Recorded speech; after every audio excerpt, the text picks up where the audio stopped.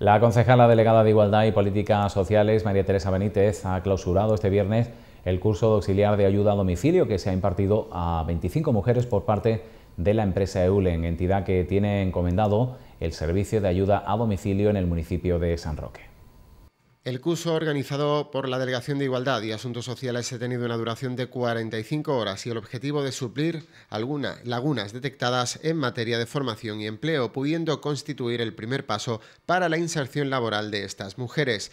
María Teresa Benítez explicó que desde el ayuntamiento están potenciando la realización de actividades de formación profesional para colectivos afectados en mayor grado por el desempleo como son las mujeres.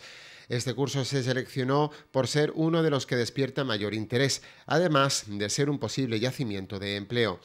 Agradeció a la empresa Eulen por su aportación, así como a la dirección de la Residencia Municipal de Mayores por ceder un espacio para la realización de las prácticas.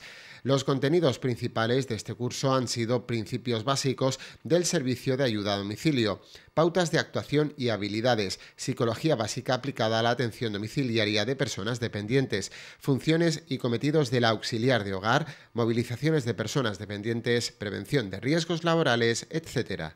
Eh, nada, que muchísimas gracias por haber participado y haber realizado este, este curso. Espero que hayáis aprendido muchas cosas y que esto simplemente es dar una herramienta más a la formación que ya teníais para que podáis incorporaros al mercado laboral. Así que muchísimas gracias. Espero que la sensación que llevéis sea muy buena. También agradecer aquí a, a ella que es la representante de EULE.